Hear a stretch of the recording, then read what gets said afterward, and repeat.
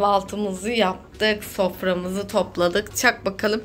Şimdi ne yapalım Rüya biliyor musun? Gidelim güzelce bir dişlerimizi fırçalayalım. Sen üzerini değiştirmişsin bile. Ben de gideyim pijamalarımı çıkartayım. Üzerime günlük kıyafetlerimi giyeyim. Ve mük bir güne başlayalım. Sen ödevleri falan yapalım mı olur mu? Yapamadığın şeyler olursa bana sorarsın. Benim de birazcık malumunuz süpürge işim var. süpür süpür süpür. Şurada şöyle. Anne. Efendim anneciğim. Yok. Nasıl yok diş fırçan? Yok. Allah Allah nerede olabilir acaba? Düşünüyorum düşünüyorum. Kızım banyodadır diş fırçası. Nerede olacak? Yok anne. Tam yürü beraber bakalım. Kızım diş fırçası bu. Nereye gidebilir ki yani? Aç bakayım. Burada yoksa. Allah Allah. Bak benimki burada. Babanınki burada. Seninki yok ama. Da baktım. Baktın mı? Rüya o zaman bu bizlik bir şey değil. Ne yapmalıyız biliyor musun? Dedektif çağırmalıyız. Bildiğim Gizemli. çok iyi bir dedektif var. Yürü gidelim oraya. İyi dedektif. Merhaba Rüzgar Bey nasılsınız? Ailemizin dedektifi iyi ki varsınız ya. Yine bir kayıp vakasıyla karşı karşıyayız şu anda. Diş fırçam kayboldu. Rüyanın diş fırçası yok dedektif bey. diş var da olur. Hemen bir kontrol edelim.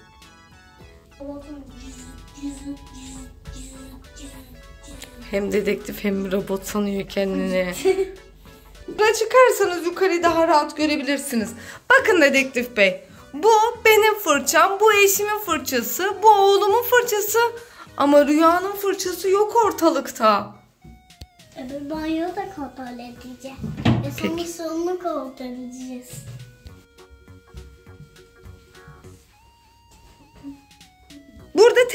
Malzemelerimiz var dedektif bey. Başka nereye bakacağız? Burada, burada da şey tıraşlar var, tıraş makinesi falan. Yok gördüğünüz gibi. Ama zaman biz içeriye bakalım. Bakalım. Hanım, evde her zaman ne? Nerede vakit geçiriyorsunuz? Odamda, oyun odasında bir de salonda ben zaman geçiririm. Odanızdan başlayalım. Biraz böyle şey söyleniyor gibi oldu. Odanızdan başlayalım be aman. Yürü gidelim. Çok sert. Çok hızlı. Çok rahat, çok profesyonel. Her yeri didik didik arıyor gerçekten. Çok mu arıyor sence? Ne diyorsun? Bulabilecek mi sence bu dedektif? Bilmiyorum. Ben de bilmiyorum. Bulamadık mı? Sonra içeriye girdik. Bir şey söyleyeceğim. Benim aklım ermiyor. Dedektifse bunun adı bulan olmalı değil mi? Ne alakası var? Bulan Dedektif takip eder aslında. Hem bulma işlerinde iyidir hem de böyle birinin gizli bir şeyler yaptığını düşünüyorsak gidip dedektif tutup onu ay kimi takip ettirsek acaba? Aman. Baban evde annemle yeni takip ettireceğiz. Başka biri düşün. Tuğba teyzemi. Tubi'yi mi takip ettirelim? Vampiri. Bu dedektif Tubi'yi mahveder. Yemin ediyorum mahveder. Allah Allah. Burada da yoksa nerede olabilir? Salona bakmak istiyorum. Salon ne alaka? Televizyon izlerken dişini mi fırçalayacak bu kız? Ne alaka yani?